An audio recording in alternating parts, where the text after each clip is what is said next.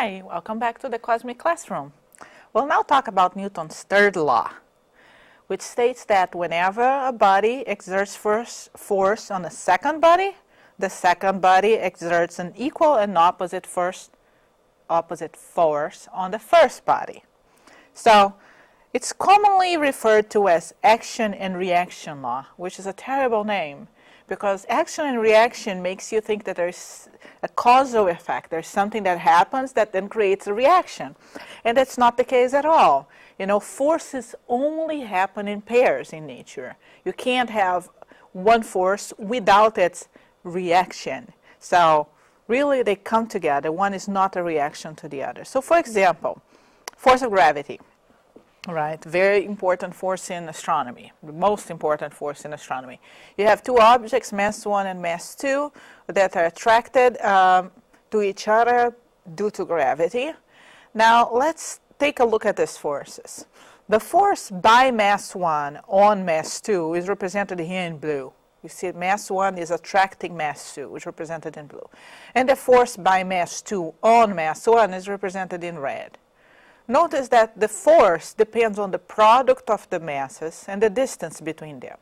So if you compute the force by mass 1 on M2 or by mass 2 on M1, they're the same. They have the same size, right? Because the product of the masses is the same, the distance between the masses is the same, it's the same force, right? The only thing that's different is that they are in opposite directions, right? Because if you go back to the figure, you see that M2 is pulling on M1 to the right with this uh, intensity that's shown in red. And M1 is pulling on M2 with the blue force to the left. So they are same size, in other words, equal magnitude in opposite direction. This is a clear case, a typical action-reaction pair, all right? I'm going to show you a few more examples. So for example, uh, a rocket okay? If you, if you uh, study the forces that make a rocket uh, fly in space, you have the force by the hot gas on the rocket, and you have the force by the, by the rocket on the hot gas. Again, notice how they are the same size in opposite directions.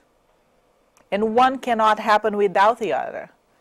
The same thing in a very common situation when you're trying to move, to run, to get somewhere.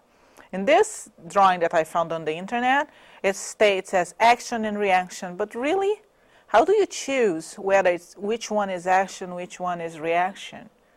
They happen together. There is no reaction without action or action without a reaction. So it's really a bad name. I rather say that one is the force by the ground on the foot, and the pair is the force by the foot on the ground. So one easy trick to remember the action-reaction pairs, the two, the, is to think of, one is the force by one on two. The other is the force by two on one.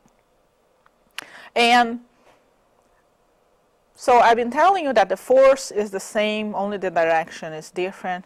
But if you see this uh, image, this was a bug that hit a windshield, right?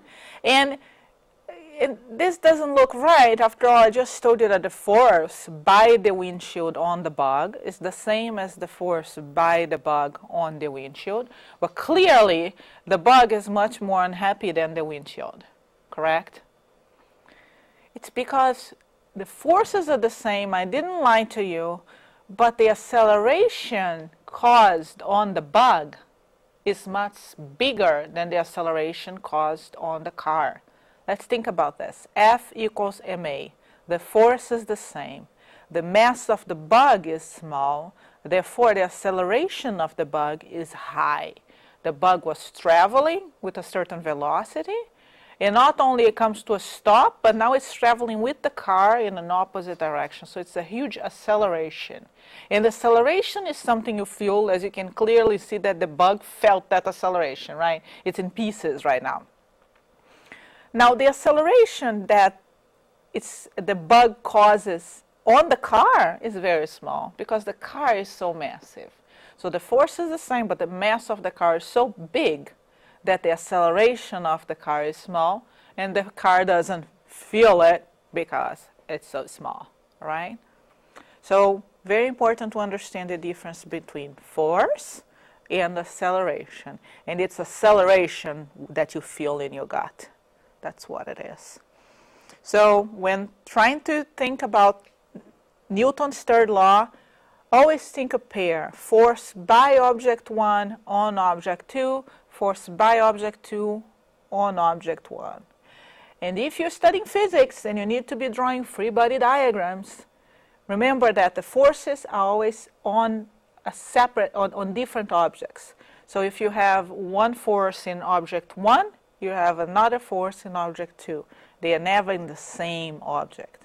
All right? So I hope it helps you understand Newton's third law. I'll see you next time.